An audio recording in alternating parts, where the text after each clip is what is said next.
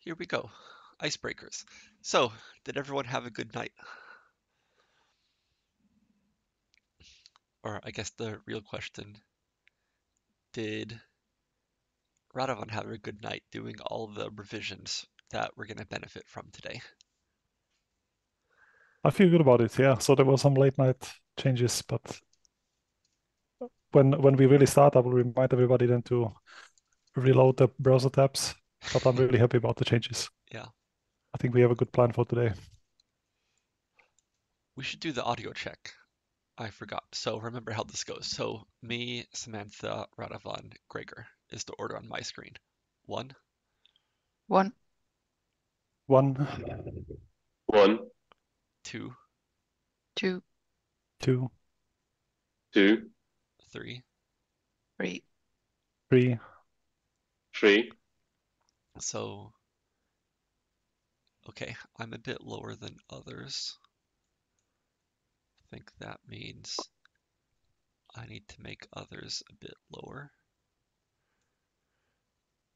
Gregor sounded a bit grainy again to me.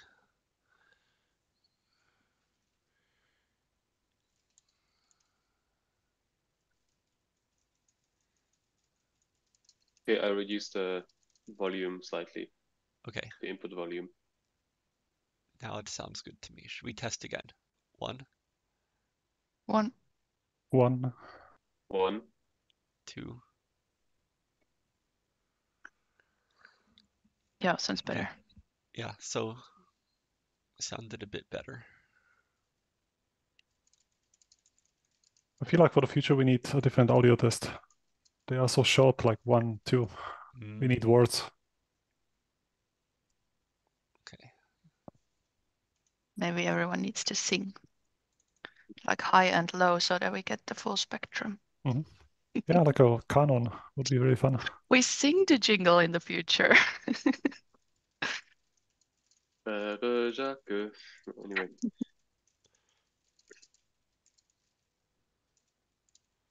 Okay, so um yeah, today we've got all kinds of cool stuff here. So the today's lessons have been updated similar to days 1 and 2. It's still basically the same concept as before. So we really practice contributing to other projects on a big scale. So days one and two were all about sort of working on your own projects where you can really push directly and sort of um, like you push directly, you don't have to worry about pull requests and things like that. But today we go to the pull request and we'll actually work on some projects where everyone in the course will contribute. And these will be really cool. But you will see how that goes in a bit. So of these ice-breaking questions, um, what did you have for breakfast? Or no, not that. What's the biggest, most collabor- collaborative projects you've been on? Yeah, that's the more interesting one. For me, it's actually Code Refinery. mm -hmm. is the contributing to materials and all the different Yeah. repositories that we have to work on different stuff. Yeah. Otherwise, I've only been working on my own mainly or with one more pe person. Mhm. How about you? So I was also thinking Code Refinery for one of the biggest things. Like I've done isolated pull requests to some bigger projects on GitHub, but uh, it's more like a drive-by contribution than long-term collaboration kind of stuff. So I think Code Refinery still is it. Uh, Gregor, what about you? I'm not sure how many collaborators Code Refinery has, but um, I would mention mention PlasmaPy, which I just checked has 125 collaborators. Hmm, I implemented some features for that library, nice. so I would say that's the one. Did this use the pull request kind of workflow, or how did you contribute there?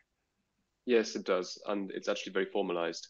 So I learned a lot there. Ah, okay. It's like they have Templates the- for sorry. It's like they have all these rules and templates, and this is how you should do it, and what you need Yeah. before you submit and so on.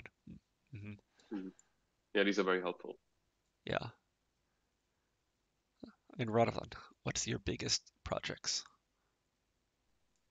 Oh, maybe it's now Code Refinery. So I was collaborating to some uh, projects with over a longer time with maybe 20 active developers. It wasn't very formalized, so no no issue templates or pull request templates, but using issues and pull requests or merge requests. So these these projects are actually on GitLab, but it's really the same workflow. And then I like I like your term drive-by contribution. So I have a couple of couple of drive-bys where I appeared, I did a little thing, and then uh, but these are projects that I'm using and uh, where I, I sent in a small small change. Yeah.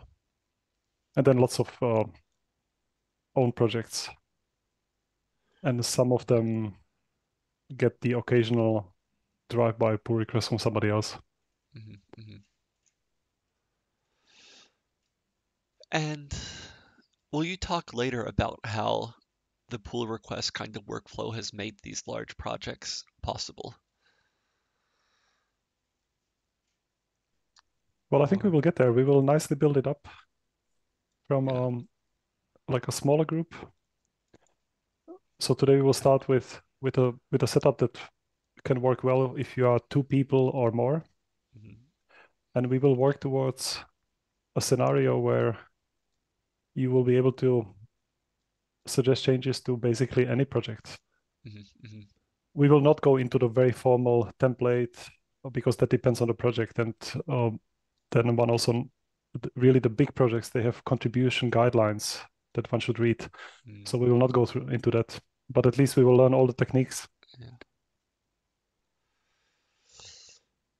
We will also discuss then later today on even how to approach a project of somebody else. Like if you have an idea or you have a question or you have a suggestion, like how to do that in a good way. Mm, mhm. Should we start then? So, do we go to whose screen? Samantha's Mine. screen. Okay. Are you sharing now? Yes, I'm sharing. Yes.